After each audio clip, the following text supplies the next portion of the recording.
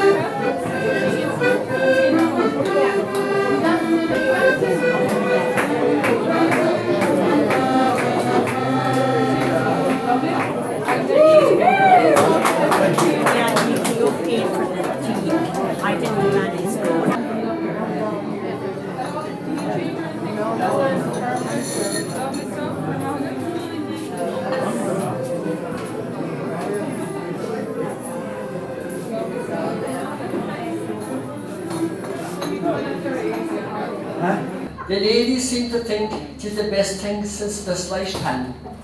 For Fifty Shades of Grey has shown them the way, how to keep a hand on their men.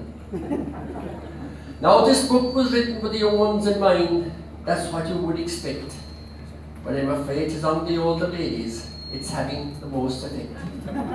They're giving up the bingo and the ICA. They're flying their kite both day and night the 50 shades of grey. House parties now are all the range. They're going on everywhere. They're different to the ones that were held in the 80s. Those were all about Tupperware. now it's gadgets from the For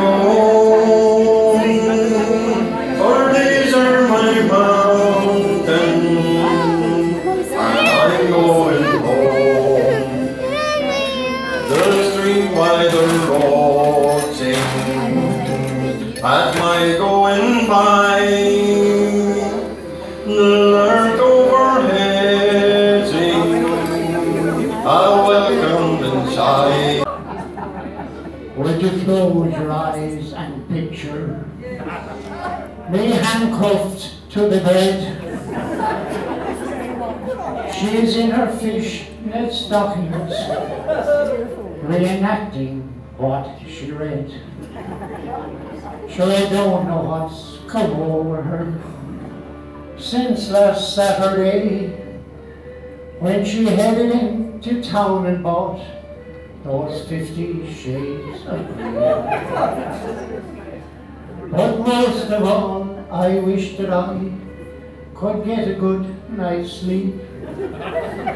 In the morning when it's time for work, I'm thrown there in a heap.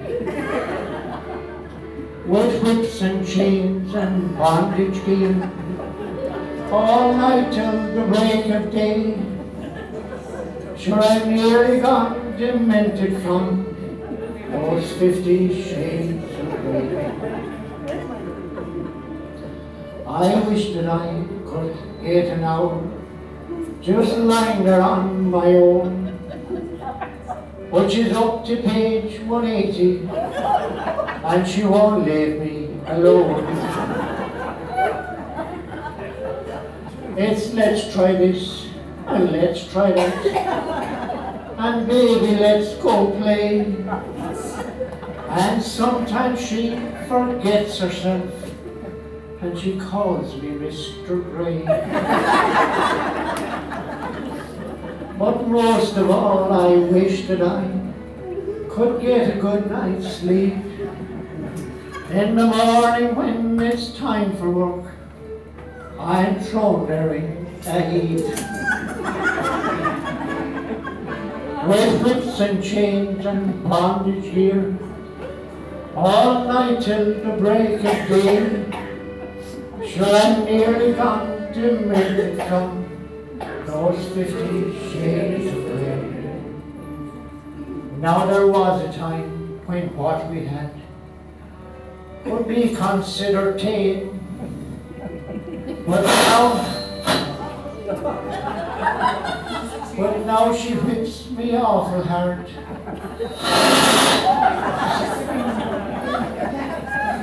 And I'm in awful pain. I've never seen such flaking. And I play GAA. I get no peace, there's no release from those fifty shades of grey. But most of all, I wish that I could have a good night's sleep. In the morning when it's time for work, I'm thrown a heap. Wet whips and chains and bondage here, all night till the break of day. Sure I'm nearly gone, demented from those fifty shades of grey.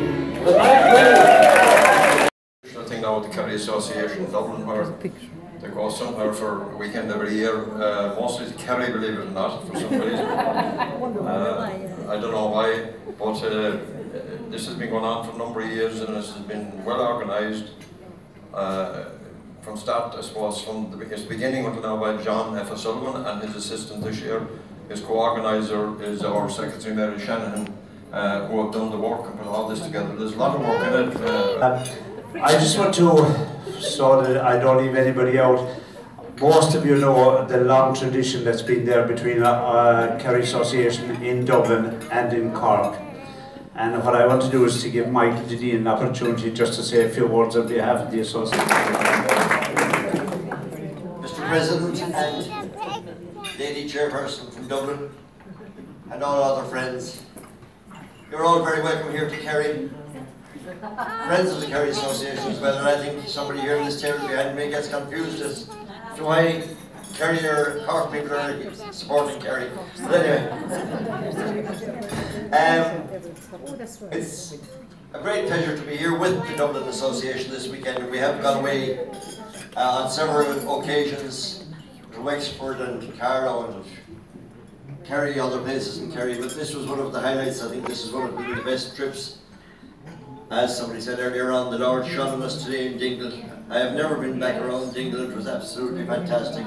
What a great way to promote our country.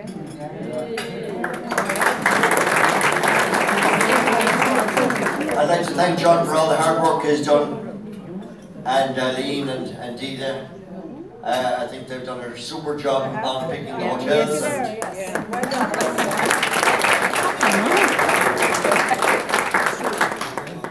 I think Anne as well here on our, our side, I haven't had much input into the choosing of hotels or anything like that. But I think Anne has been the liaison officer between Dub- the Dublin Association and the Cork Association. So, um, Anne O'Regan, thanks very much. All I want to say is I don't want to keep you long speeches or anything like that. Enjoy your night. And um, thanks again to John. And we're looking forward. I heard them planning next year's outing already, so get your name down for the bus for next year. Right, thanks, John. We have been delighted to have you here for the, the two days. We got you the weather. Where else would you go for the weather? And um, as I say, it's been great to have you here, and we'll have you back again anytime. Okay?